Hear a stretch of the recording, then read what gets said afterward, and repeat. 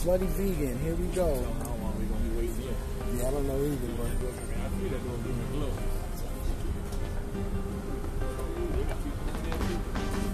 be in